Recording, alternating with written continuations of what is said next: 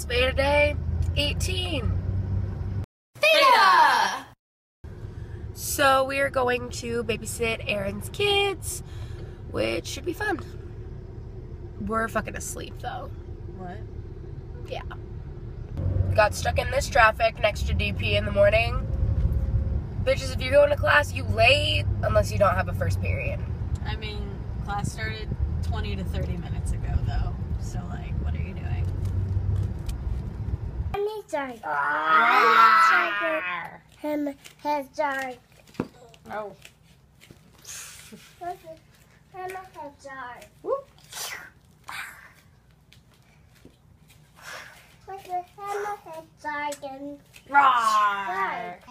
It's the cutest boys.